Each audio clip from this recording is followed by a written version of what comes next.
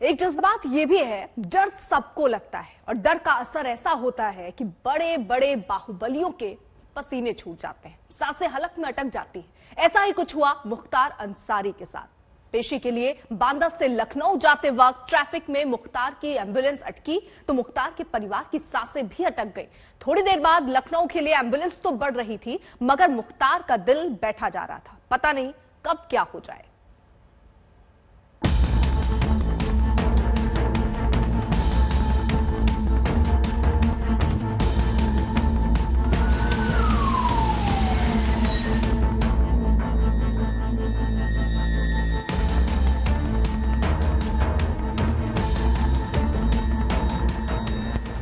UP police की गाड़ी जरा खराब क्या हुई?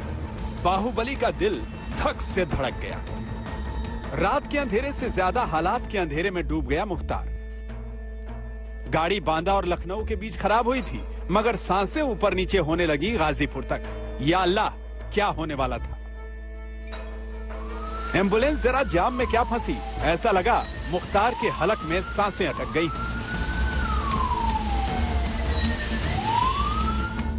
बांदा से लेकर लखनऊ तक बाहुबली का दिल यूँ ही घबराता रहा।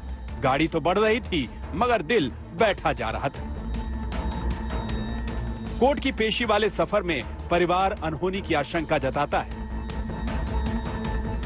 डर और दहशत का यह हाल उस शख्स का है, जिसे लोग मुख्तार अंसारी के नाम से जानते हैं। पूर्वांचल में बाहुबली के नाम से यह पहचाना जाता है। लेकिन योगी राज में ऐसे स्वयंभू बाहुबलियों पर कानून का शिकंजा कसा है कि पुलिस के पहरे की पेशी में भी दिल घबराता है, परिवार वालों को जान का खतरा सताता है।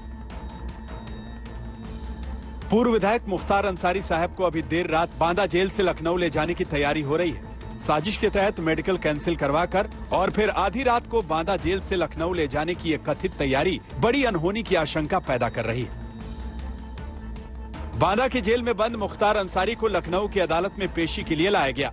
बांदा की जेल से मुख्तार अंसारी को लेकर जैसे ही यूपी पुलिस का काफिला बढ़ा, पूरा का पूरा अंसारी परिवार टेंशन में आ गया। मुख्तार अंसारी के साथ जो डॉक्टर हैं और एक फार्मासिस्ट की टीम है, वो मौजूद है और इसके साथ ही बांदा पुलिस की टीम भी मौजूद है। बाकायदा मुख्तार अंसारी ने इस बात के लिए कंप्लेंट की थी कि उनकी तबीयत खराब है, लेकिन इसके बावजूद उनको कोर्ट में पेश किया जा रहा है। कोर्ट ने साफ़ तौर पर मुख्तार अंसारी को पेश करने के लिए कहा था। बता दें कि अगस्त 2020 में एक एफआईआर दर्ज कराई गई थी लेखपाल की तरफ़ से हजरतगंज कोतवाली में। उसी केस में मुख्तार अंसारी के साथ उसके बेटे अब्बास अंसारी और उमर अंसारी भी नामजद थे। आज मुख्तार अंसारी की। उसी शत्रु संपत्ति कब्जाने के मामले में पेशी के लिए मुख्तार अंसारी को लखनऊ ले जाया जा रहा है।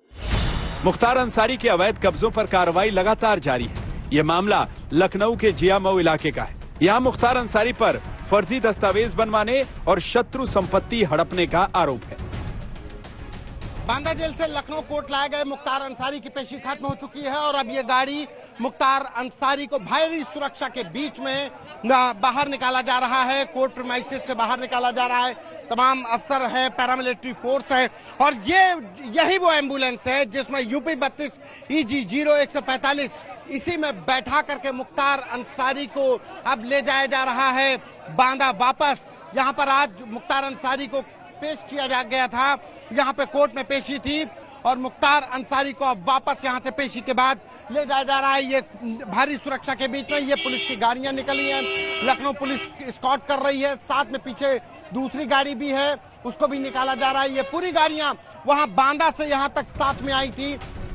कोर्ट अब 8 अप्रैल को इस केस की सुनवाई करेगा। फिर से बांदा जेल से मुख्तार को लखनऊ लाया जाएगा। हर बार परिवार को अनहोनी की आशंका सताएगी। कानून व्यवस्था के राज में तबीयत घबराएगी। लखनऊ से संतोष शर्मा के साथ आज तक ब्यूरो।